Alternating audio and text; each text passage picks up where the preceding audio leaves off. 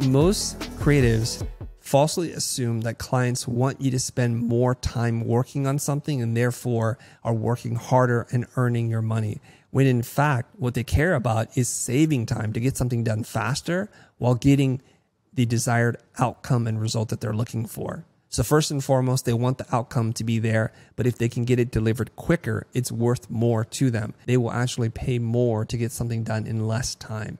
And this is true in almost every aspect of our life. Like if you want to cut the line, if you want to avoid the line at Disney, there's a special pass that you can buy for that. If you want premium seating at a game, you can pay for that. So, and, and also if you want to board first on an airplane, it's called first class and you can pay for that. And so oftentimes we get messed up in our mind to think that, well, if I work on this for more hours, the client's perception is this going to be more valuable to them. When in fact, most clients just want to get the project done as soon as possible. Think in your own life. Think about any time you've ever had a problem. Would you have paid more to get it done faster or pay more to have it done slower? Like right now, I'm talking and delivering this course. I want drapery so I can control the lights in this room. And if the vendor could deliver to me faster, it would be worth more to me.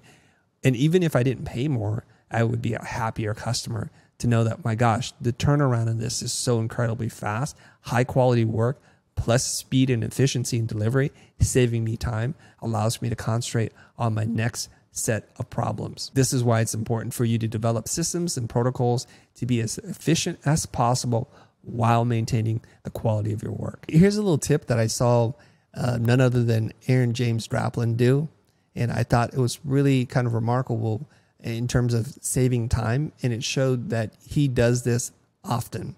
So anytime you ever watch Aaron work, you'll see that he has mock-ups ready to go built into his palette in Illustrator. So a t-shirt, a cap, an apron, or whatever else he's used to designing tchotchkes for or whatever, he has that built into his library.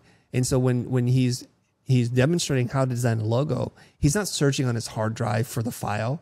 He's already built it into to his palettes so that he can just quickly pull them out and drop the logo in. This is one kind of way of being more efficient with your design and showing that you're a professional, that you've done this many, many times before. So if you just think of that example and look across the entire spectrum of the things that you do, try to systematize as much as you can so that you're spending more of your creative thinking power in in the work itself and not looking for assets and it's like, "Oh my gosh, where's that file? I can never find it." Let me give you two pro tips to help you stand out from the competition. Number 1 is when you're talking to clients and you're still in the onboarding process to get them to sign on the dotted line, it's super important for you to follow up with an email to summarize the key points that you've talked about. I got to tell you, this seems so obvious and so simple to do, but yet so few people do it. That when you do it, it's going to be like a breath of fresh air. Like, wow, this person captured everything that we wanted to do and they totally get us and they're super clear. If this is what it's going to be like to work with them, I can't wait to sign on the dotted line. And I do this for their benefit and I do it for my own because if you're talking to five, ten different clients a month, you're going to forget what's important. But at least you can go back and look at your emails and say, oh my gosh, this is what we agreed to. This is what's important. So that if the client says, yep, we're ready to sign on the dotted line, you can go back to that document and not be fumbling around with like, where did I write that note? It's shared between you and your client. One additional tip to that is to make sure you include the line, did I miss anything or would you like to clarify anything? That opens up the invitation. You have to remember a previous uh, point that we made was the client's time is super valuable. The fact that you took notes shows that you value their time. And also, the more time they invest in you, the more likely they are going to proceed with working with you. It's a good sign when clients interact with you. Tip number two is oftentimes clients will say, um, I'm not ready to purchase right now, or I'm still thinking about it. Can you send something over so I can review it with my team and maybe the creative who couldn't be on this call today?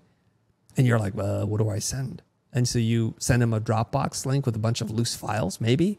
You might send them to a website page, but none of those things communicate that I'm a professional. I've done this before.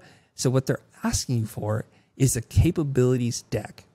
And you should have one prepared already that from time to time you tweak, like every three to six months, especially when you can update it with new relevant projects. What I have is a master's capabilities deck with a whole bunch of different projects. And then I, I go in and I curate and select specific ones that are relevant to the client. So I'll probably pick three. So in my capabilities stack, I will show relevant work. I'll talk about the problem, the solution, and the impact. And I will include bios on my team and the services that we provide. And sometimes I'll include like a price sheet outlining the services that we do with a price attached in terms of like broad ranges. And this is a good standalone document that's well designed, great typography, brand is on point, well written, colors are all there, contrast great. And when you send this through, they're like, wow, this is such a professional company. They have a whole team. Here's what they do. This is their process, and this is the work that we might do with them. You might also include things like testimonials, and you only need a handful of those, like little quotes. And you might include a logo quilt, a grid of logos of companies you've worked with or for. You'll want to do this because most creatives neglect to put something like this together. And if you want to rise above the rest, spend the time, energy, and effort to put something professional together.